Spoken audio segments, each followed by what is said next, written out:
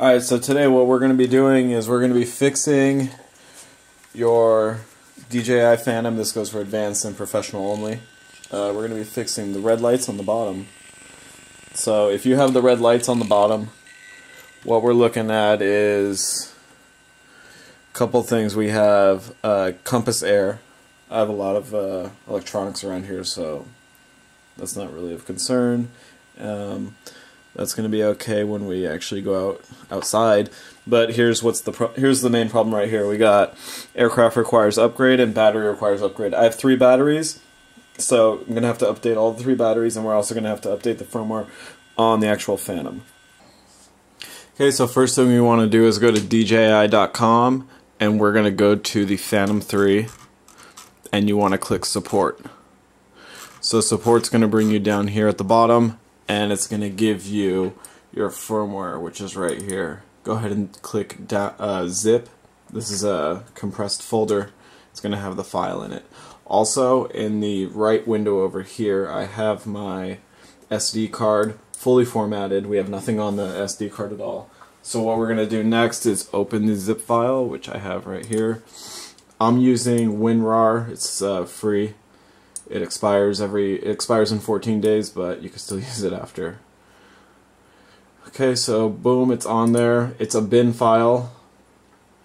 And we're going to firmware 1.0.6 or 1.06. And that looks like that was released last year, which was uh, December 22nd. So once we have that, next thing is we're going to put the SD card in the in the um, in the drone, and uh, that'll be the next step. Update the firmware. Alright, for this next step, you do not need to have the controller on, so we can go ahead and shut that off. The controller is off. Um, we have our micro SD right here. Oops. And we're just going to put it in. Alright, next thing, start the drone up.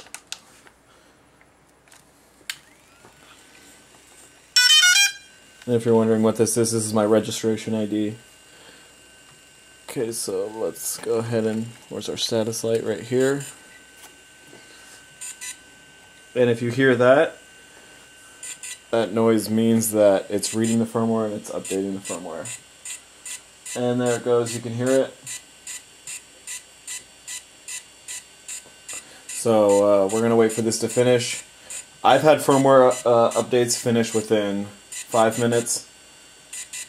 You know, I've had them finish within 30. It all depends on, uh, you know, how far back you are on the firmware and how how much are you upgrading, or if you're just doing a, uh, you know, just the next upgrade. So we'll let this go ahead and finish, and then uh, we'll come back and we'll check to see and make sure everything's okay.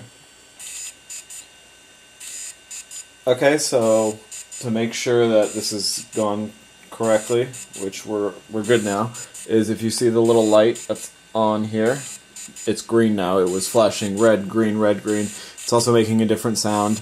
Um, I got I went ahead and grabbed the two batteries that need to be updated. The one inside of here is okay. So what we're gonna do now is power this down. And this is going to be to update your other batteries. So let's go ahead and flip this around. Pop out the updated battery. That one's okay. We're going to put this one in and just start up the drone. That's it.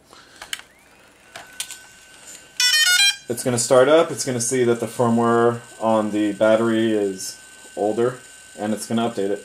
It's going to be the exact same process you just saw. So do that for all your batteries and then uh, after that we'll come through and we'll check on our uh, DJI app if uh, we're successful.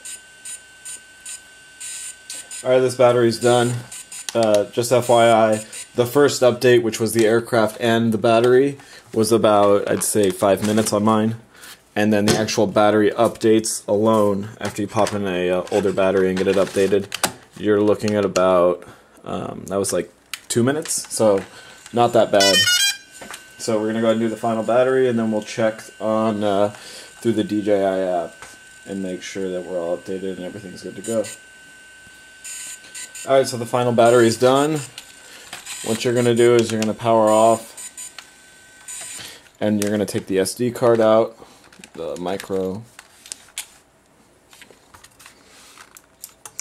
Um, what you can do now, if you want to check, if you pop this in your computer, there will be a text file and it'll say successful or failed. So you can do that to check, or you can just start this up like I'm going to do now. Also start up my controller and my iPad.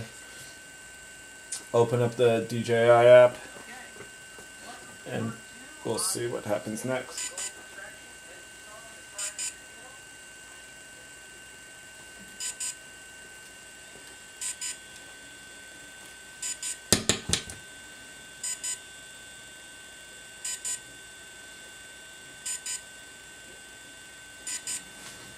Alright, so let's go ahead and look at our status. And right now we still have the compass error. That's because my computer's right here.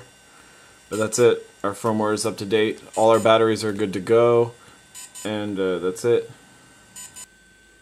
Alright, so I went ahead and started it up. I checked on my, uh, through my app. Just click this, uh, safe to fly normal latest firmware. Our setting is showing right there. So we have our latest firmware and let's uh, we have our red light disabled and uh, just to enable the motors.